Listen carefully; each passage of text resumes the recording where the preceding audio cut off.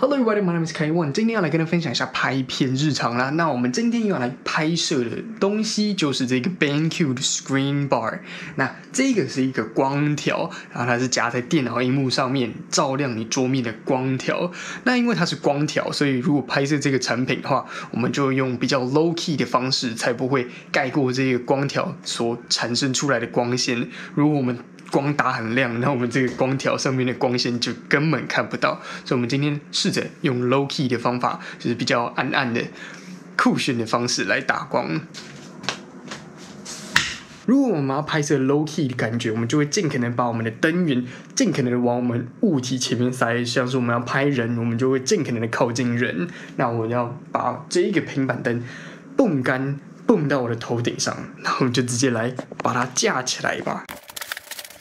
OK，那我们的泵杆就这样子架好了，所以我们就把灯泵到我的头顶上。那我们顺便调一下水平，让这个泵杆不会一边重一边轻。那后面我配重的话，我直接拿我的六百 D 那个变压器直接挂在后面，因为这个东西五公斤，当沙包还蛮好用的，就直接这样架着，完美的泵杆。好，那我们稍微定一下机位，然后再来继续布光，因为没有定机位，你怎么样布都不太确定相机看到了什么。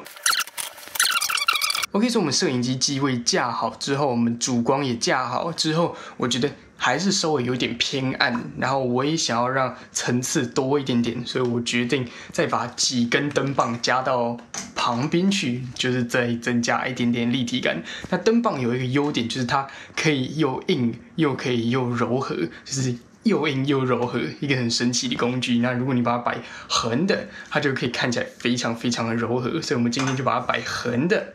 就是稍微在旁边补一下光，然后顺便色温也调整一下，因为那一盏灯我想要主光是比较黄的，那我们其他两根就让它变蓝一点点，让颜色多一点对比出来。OK，所以我们大致的光线就已经架好，那我们就直接把图传接到我们的摄影机上面，然后我们人直接坐过去，直接看看你还要调整什么东西。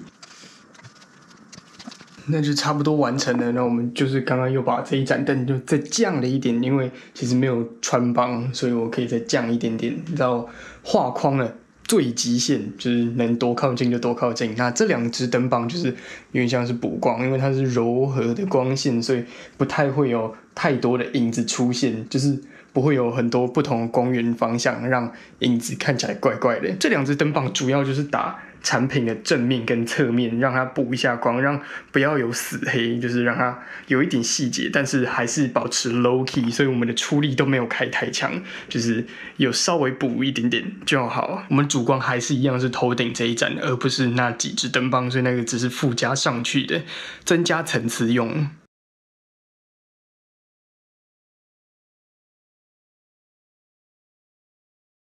OK，我们来到了第二天拍摄，那我们要拍摄就是这个主线，我们昨天拍的主线的 B roll，就是一些漂亮的画面啊，还有一些情境的画面。那我要先把第一天的剪辑完，我们才能知道我要拍摄哪些 B roll 才符合我们的内容。所以我们先来剪辑一下。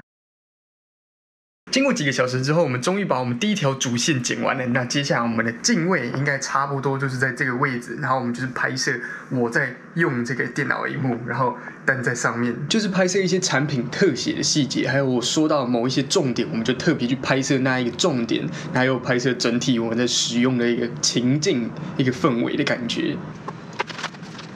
那在这个情境里面，我们这个 screen bar 其实它就是主灯了，因为我们没有想要再盖过这一条灯它照出来的氛围，所以我们这里就直接拿一个平板灯往天花板打，越柔和越好，让它变超级大面积。那它的高度呢，不能低于我们的镜位，因为如果你低于我们的镜位，我们就会拍到荧幕有反光，效果就会不好。那我们把天花板这一盏柔和的光打开之后，我们完全不会影响到这。Screen bar 原本照出来的光质，因为它真的是非常非常的柔和，它只会让我们的影子变淡，但它不会影响我们的影子，也不会产生另外一个奇怪的影子出现，就不会有两个光源出现，这样子效果真是超赞。好啦，那我们就直接来拍摄我们的影片吧。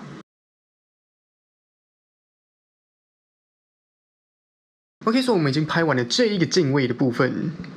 那我们接下来就要来开始拍成品特写的部分。那成品特写，我就想说把它直接架在电脑荧幕上面来拍摄。那我们灯光也要再稍微做一下调整，因为这个产品的外观是有一点金属的，所以它会有一点金属的反光，所以我想要用比较大的柔和光棒来打，然后让它有一条漂亮的。反光在上面没关系，我们就直接来执行一下。那一样，我们用泵杆就直接撑到我们要的地方。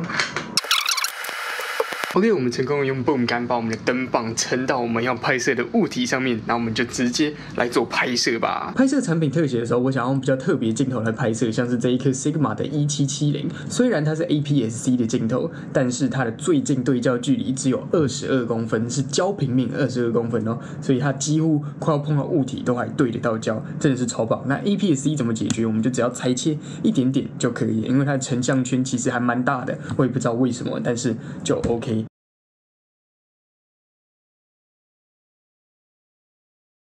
那刚刚拍摄产品背面这里有一个 logo 跟同心圆的部分，那我还特别拿了一盏 Aperture MC 来特别补强那一个同心圆，让它增加更多的立体感，然后也让它更明亮一点。反正就让那个 logo 跟同心圆更清楚一点。OK，我们差不多杀青了，我们把产品特写拍完了。那刚刚产品特写拍的时候，当然就是要一直擦拭啊，然后还有吹球，还有刷子，就一直把这个产品用干净。就是在拍摄的时候，尽量上面不要灰尘，因为我打了光，有点会很凸显那个质感，所以你一点点灰尘就会很明显。那还好，这个不是什么亮面的灯管，所以还好。如果是全部亮面的话，哇塞，你整个会擦到快是死翘翘。接下来我们就只剩开心剪辑了。那如果影片出来的话，我会在下面放链接。如果你对这个 BenQ Screen Bar 灯棒有兴趣的话，你就可以去看一下。那这就是我们今天拍片日常的分享影片。当然喜欢这影片，按个赞，订阅我们频道可以看更多的相关影片。那这里有一个全部都是日常影片 playlist，make sure you check it out。My name is Kaiwan, and I will see you guys next time. Bye bye.